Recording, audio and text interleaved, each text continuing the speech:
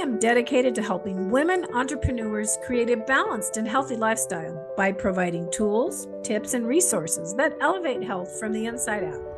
Every episode, myself, along with a featured guest, share our Steps to Feel Good Daily journeys on my globally recognized show, Steps to Feel Good Daily with Lona.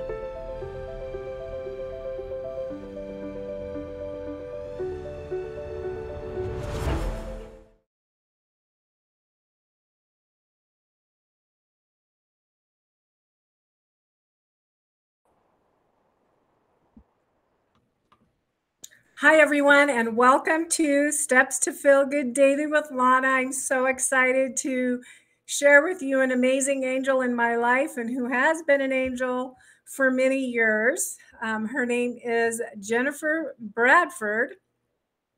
And today, the topic of our show is how to wrap yourself in love with spiritual educator Jennifer Bradford.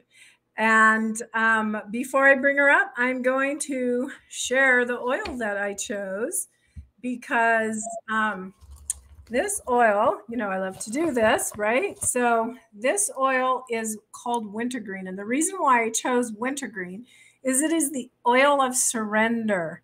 It is relying on divine grace, non attachment, helps you to be teachable and strengthened. So I think we all need a little humility to um, help ourselves to learn more from others. And we have that great opportunity with Jennifer. So before I bring her up from the green room, I am going to share a little bit about her.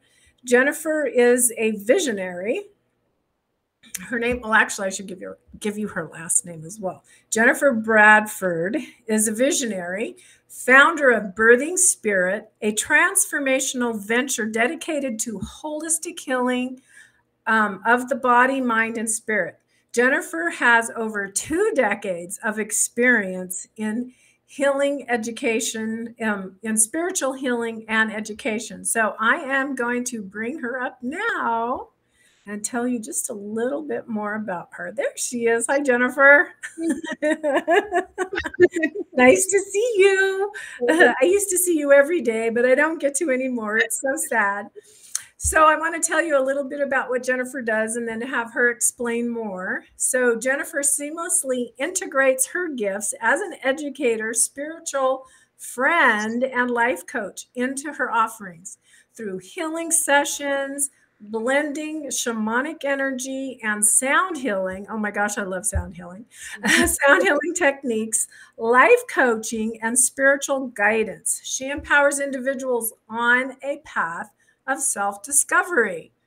So, this is very interesting. And I've always been really curious about like what is shamanic i mean i've heard lots of things about it but i don't quite know but it seems like you've kind of come up with your own way of doing things by blending the shamanic with the sound healing. So, first of all, why did you make the choice to become a spiritual educator? And then I want you to tell us a little bit more. So, we'll go step by step. yeah, thanks, Lona. Yeah, well, I guess I've been interested in spirituality since I was very young. And um, it was about 20, over 20 years ago that I did a degree in theology in the, at the Franciscan School of Theology. And, um, and I went the MA route, which is more for teaching because I, um, I, I, was always a teacher. I was already a teacher from the get go. I was a math teacher in my early in my career. And um, so when I did my MA, I went that route because that's just who I am. I'm a teacher. Um, and I've used it in doing helping with retreats. I've used it in um, teaching at the high school level in theology, that sort of thing. And um, I intend to continue doing um, classes for spirituality and you know topics related to healing as well. Awesome. So so what is how did you start in shamanic and how did that like maybe enhance what you were doing?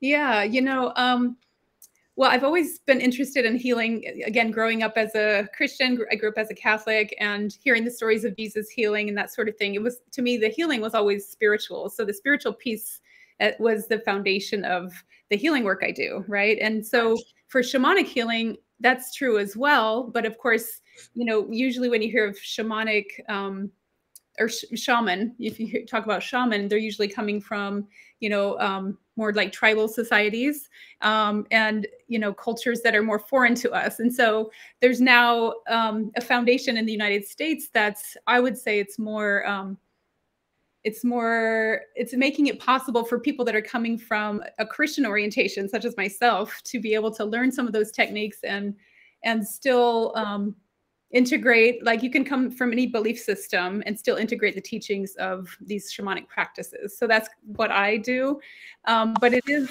i would say the shamanism in general is coming in with this belief that you are calling on spirit to do healing work or um, you know, get guidance and that sort of thing for people. So it's it's kind of like um, it's just really learning techniques that maybe in Christianity we haven't really continued to teach people how to do that, but in shamanic right. society we have. So we're kind of tapping into the ancient wisdom and integrating that, like for me, with my own Christian beliefs. I, I, like I had a conversation with some ladies today that were we're all Christians, right? And it's like, how do you how do you bring that Christianity and not, you know, because some people want to think it's woo woo. Right. But I know that healing is was a part of Christ. And right. that's it's like tapping into that power. And he talks about there are heal people that do healing and different types of things. So yes. I think it's kind of we kind of came up with the conclusion that there's a big awakening happening yeah within the within the Christian society that is helping people to open up to the more like I would say the power of Christ. yeah, absolutely. Right?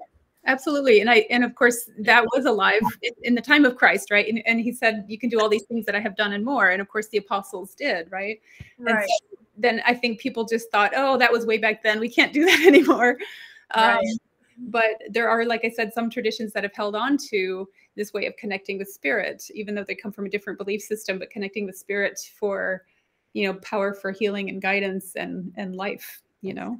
So, so you're saying shamanic healing is it's kind of like a tribal American Indian type of healing. That's kind of how they did it because they were definitely super spiritual people. Yeah, I, well, I would say um, when I say shamanic societies, um, the foundation that I'm that I've learned a lot of my shamanic practices from is the Foundation for Shamanic Studies, founded by Michael Harner, and he was an mm-hmm. anthropologist at UC Berkeley. Um, and he actually studied societies all around the world, and he came up what, with what is called core shamanism. So, so he found that there were these common elements in all of these different societies. So it was not not just in you know the United States, um, but there was African societies that he and cultures that he studied. Um, some Asian cultures. There was, you know, South America from all over really that he studied these different cultures and found that there were these common elements. So it was really, it's really fascinating. Yeah. Fascinating to tie us together because when it boils down to it, we're all brothers and sisters here yeah, earth, right? So it's like in whatever, whatever common um, commonness that we can find within us is yes. is so powerful. So yes. i like i like that um, he did that. So so how would you say spiritual work has affected your life? Um, well i would say you know i i was again from a very young age i was very spiritual. You know i um, kind of felt like this connection with jesus early on and um, and when i I think it was when I was um, teaching. I was teaching math at the time, but a friend of mine was like noticing I was just constantly reading spiritual books, you know, and not wanting to do my grading. And and he was like, "Why don't you just go to theology school?" I was like, what, "What's that?" You know, I didn't really know what that was. Um, and and um, there was the church I was going to at the time. The priest there had gone to this same sem seminary. Basically, it's the Graduate Theological Union, and there's many different schools. And um, and so and I knew some students at that church too that were that had gone there or were going there.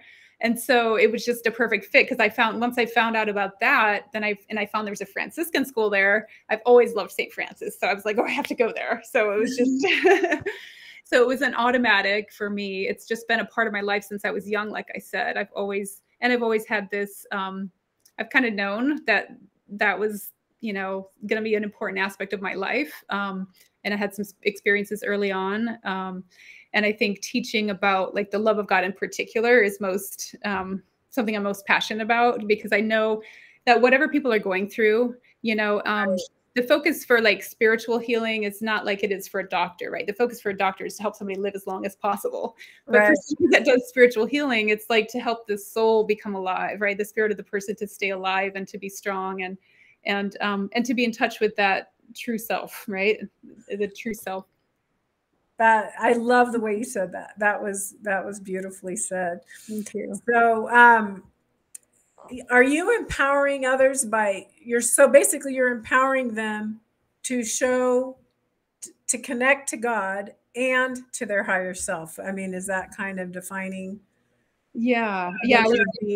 And to release, I know, I know you do I'm sure you do releasing because, uh, as you know, I am I am an energy, yeah. if you want to call it an energy worker, right? Um, but helping to release those trapped emotions, negative energies that are within us. Yeah, I'm just assuming that within the work that you're doing, you're doing that because when we can peel away those layers, that's when the true self can come through, right? That's totally. Yes. Yeah, I think we we adapt um, to our environment, and so a lot of those adaptations or survival strategies that we learn as children are things that once we get out of our, you know, home environment, um, we find that those strategies are not necessary or helpful anymore. You know, and sometimes right? So, so whether it's from psychologically speaking, things that we need to kind of release, or energetically or spiritually speaking, there's a lot that that we can kind of peel away to get to the inner core that is our true self. That is our true self. Yeah. I like that. And that's when we really stand in our power the most, isn't it? Yeah, absolutely. so I had asked you the question, what steps do you take to uh, to feel good daily? And you had said that you take a moment each day to bathe myself in light and the light and love of God. So how how do you do that? Wow, I mean, is it prayer, meditation? I mean, there's yeah different ways but yeah, yeah, it can be many different things and it can can literally be standing out in the sun and just like standing there and meditating and I, I sometimes i just feel like the power of the sun just the way that it illuminates me and i, I feel that i feel the energy of god coming through that as well right so it could be as simple as that um if it's in the middle of the night you know it might be just literally just um meditating on the love of God. And some people might want reading or something like that to help them get into that. Like, what is that? You know, that might be something that where a book or some kind of something to reflect on might be helpful.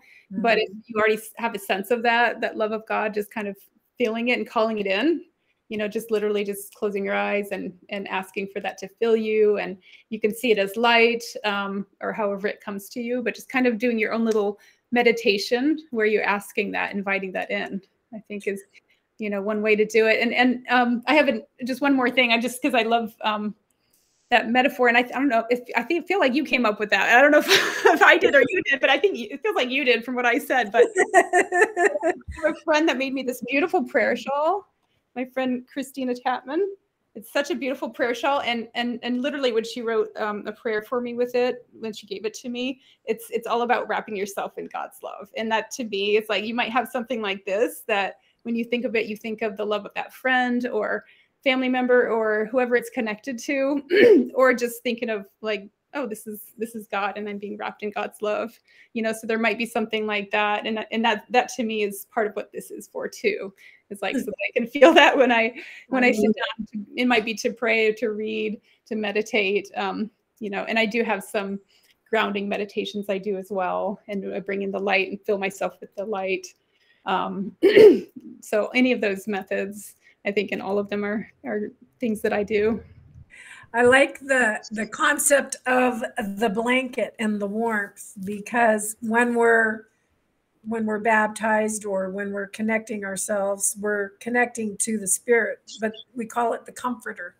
So that would be like you know that that comfort that we are seeking in our lives because sometimes we go through a lot of struggles exactly. and we're like how do we get through it and there you know the only way that i know is to ask for that comfort and then to mm. release and to let go yeah um so i'm seeing that when you're I mean, like when I'm visualizing you standing there, mm. receiving that sun, the warmth, the yeah. love of that, that's kind of because I, I, I like I invite the spirit into my life and I mm-hmm. do that every day. So it's maybe a little bit of a different way, but I know that when I do that, that I actually feel that love, that mm-hmm. energy, that feeling. So it's just, you know, we we can seek and look and and and try everything, but not everything is going to bring us that peace. The only right. thing that's going to bring us that peace is coming to who we truly are and knowing our value.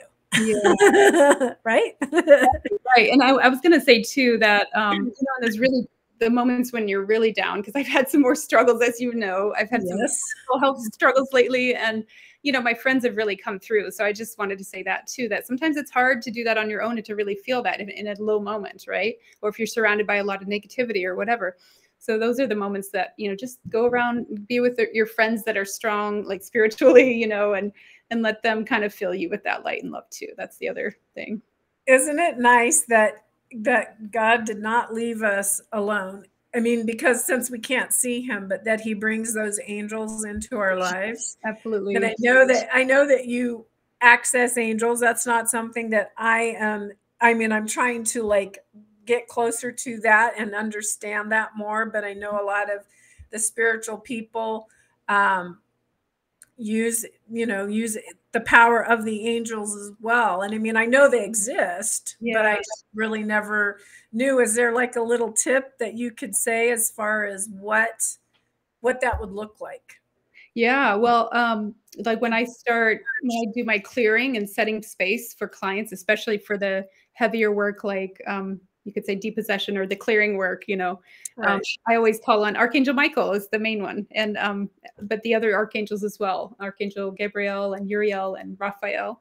Um, so i asked them to surround the four corners of my room and you could do that. You know you could just ask them to surround the four corners of your room help them to feel you know god's love um, healing you know clarity um, all of that guidance. Um, so and and the other thing if you want to start kind of getting to know one of the angels you know just doing a little meditation where you just you know you just kind of sit there and you call in archangel michael or whoever whoever you want to connect with and you just start to commune you know like whatever that might be and just you know you can ask some questions and just see what comes to your mind like you know how does it feel when i connect to you? Or or is there a way you can show me that you're here? Like and it might be you might have an image come up in your mind or um you know but it but it's not automatic it might ha- not happen right away but it's with that daily practice or that regular practice that that that connection right. gets strengthened so the more you do that the more and sometimes it'll feel different too like archangel michael's energy you might feel a little tingling in your head or in some part of your head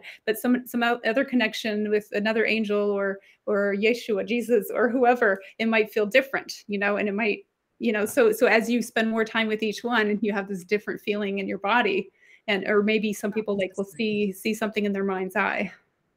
Interesting i was having a conversation with somebody today that was talking about how they it's like a, a communication a thought communication and i know that as i'm increasing in like my intuition i notice that i can ask questions. So I kind of I get what you're saying, and I think that is um, a great tip that you that you shared with us. And that knowing that it's not something that we're just automatically going to do it but it's something so in my in my feeling is that we have to open ourselves up to the love of Christ. We have to open ourselves up to that gift. So then from what you're saying it seems like that's what we have to do with each and every gift or each and every angel. We have to make that effort to reach out and then we receive the gift because we're open to receive it and if we don't we don't receive anything right? Yeah. But isn't michael the one i'm that is like when somebody's really struggling is that like the the most yeah. the biggest struggles emotional struggles and things like yeah, that? yeah i would say he's definitely the protector angel and i've heard even heard um the former spiritual director of mine used to say that he is always there like for abused children people oh.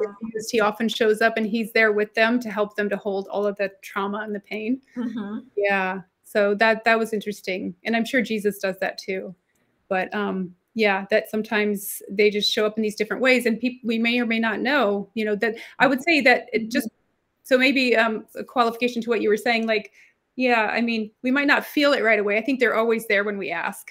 So it's not right. like we have to earn their their, their, their right. help us if we ask, but we it, we won't necessarily feel or, or, have a confidence in that connection and know that it's there without right. a lot of practice, right?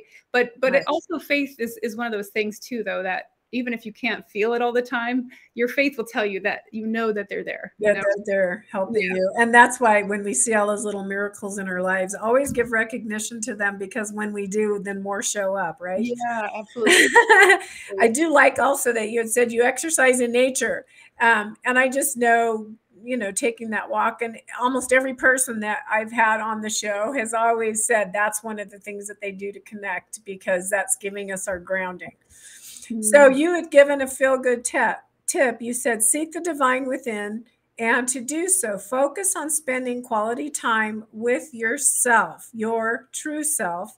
So we've touched on this a little bit, but it involves focusing on your being rather than your to-do list. I love this because I know that when one of the greatest things when I moved to this house is I it's like I had open spaces for things. Yeah. And instead of like fighting and trying to find, I was just like, nothing's going to go there. At one point, it just showed up. So is that kind of what you're meaning about? It's not like you, you're saying, oh, I got to do this, I got to do this, I got to do this. No, you, the most important thing is that you love your son.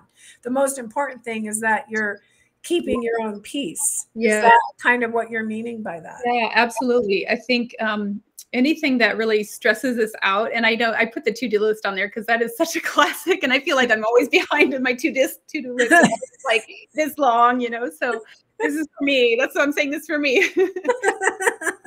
In fact today i was going to write an article like your worth is not based on how you know how short your to-do list is. You know?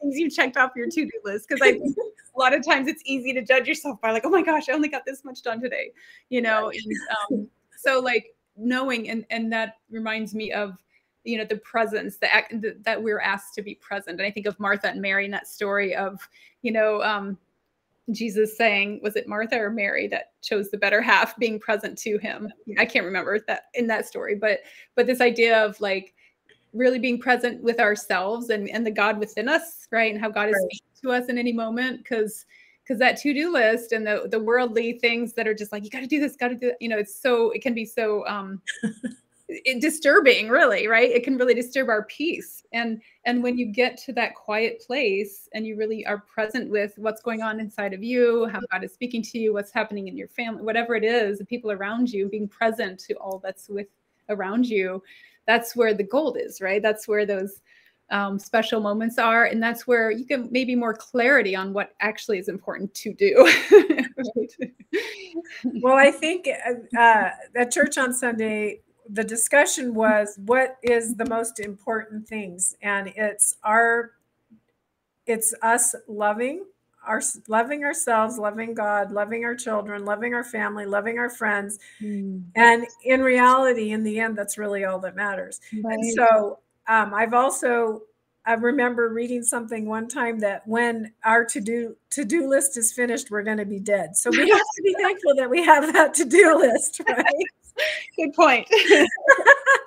but you said and and allowing so allowing space for time and emotions to be tended to. Yeah. So and I love that you say that because emotions it's like we can let emotions take us over. Yeah. Right? Or we can just acknowledge. So you're saying to tending to that emotion. So when that emotion shows up you can say oh wow i'm feeling really angry right now.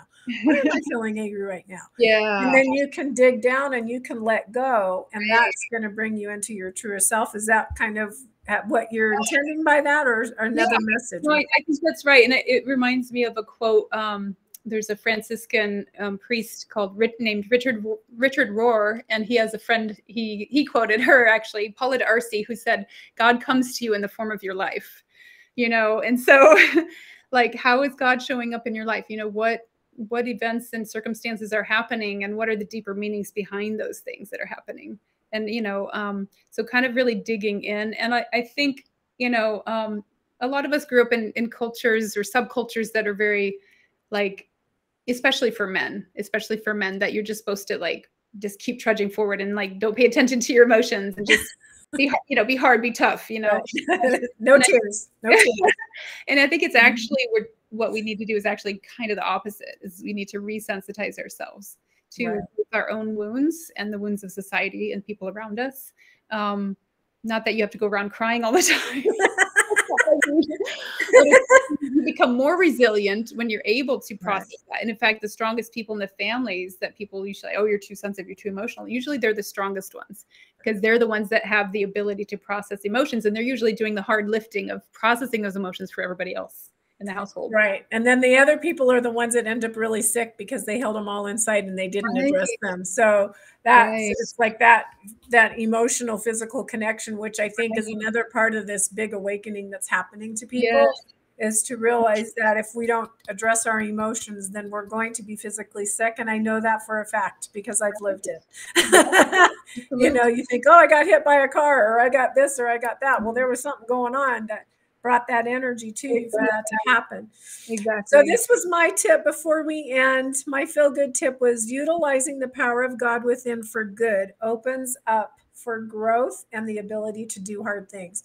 Mm. And this is a lesson because even doing the show, it was a really difficult thing for me to do. And the things that I had to learn to be able to do it so that I know all I did is I kept saying, I can because he can. I can because he mm-hmm. can. And everything that I do, I always say that if it's something that's difficult, I say I can because he can. And that gives me that extra strength. And then it gives me that growth.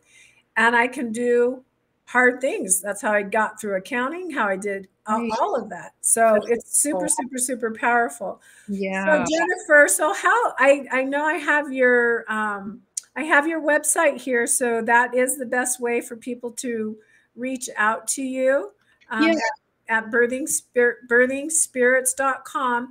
And do you um, have like a an, an, offering as far as like do you have a, a like a questionnaire or something that people can fill out that you can see if that's a fit or yeah well, of some sort anything that people can call and ask yeah, there's a um I think it's on the front of the first page, my homepage. Um, there's a yeah, at the bottom, there's um, a place where it says contact me for a free 15 minute consultation. And there's a phone number as well as my email address. So it's jenbirthingspirit at gmail.com. And so they can email me or they can call that number and leave a voicemail and I will get back to them and, and we'll have a conversation to see like how I can help them. Um, and then from there, we can set up an appointment if they would like to. Yeah. Okay. Well, I can say this for sure before I drop you down the green room that you are definitely an authentic, loving, wonderful, amazing human being, beautiful woman, um, and mother. And I'm really thankful that. Oh, thank you, Lona. You too. All those things I can say is totally true for uh, of you, and you've been such a great mentor, such a great friend, and I appreciate you for everything you've done and for who you are most of all for who you are you know and the strength that you've shown and all that you've done in your life you're an inspiration yeah. to me as a single mom and you know as a um, wannabe professional businesswoman yes we've gone through hard things together haven't we yes yes and we're and we're living proof that you can get through them yeah. and having friends makes it easier. so thank you again for everything thank you've you done. So I'm going to drop you into the green room. Okay, can I um, wipe my tears because I am able to feel my emotions, and that's a yes, a beautiful thing. It's yeah, beautiful. and then I'll meet with you. Heart, heart. That's what one of the things I love about you too. You're so heartfelt and and you're so authentic as well, and I appreciate that so much. Thank uh, you. So just hang out for a minute, and I will. Uh, we can have a a, a Christ tale. we say mocktail or cocktail. I don't do either, so we'll say a spiritual tale. Everything. The website is HTTP. I don't have an S yet, so it's just HTTP colon slash slash uh, worldwideweb.birthingspirit.com. Just to clarify. Okay, awesome. And if anybody doesn't can't reach her, reach out to me because I do know how to reach out to her. So thank you again, Jennifer. So much. I appreciate you. Appreciate you. So thank you so much. Um, wow what a what a, an amazing sweet woman um, i could tell a lot of stories but uh, those are all private but anyway but anyway um, you can reach me at happyhealing.me. I also offer a free consultation. I am the person that can help you to get well as quickly as possible. And if you ever don't know what to do, please feel free to reach out to me because I would love to help you. And uh, thank you again. And till next time, um, say la vie. Steps to Feel Good Daily with Lona.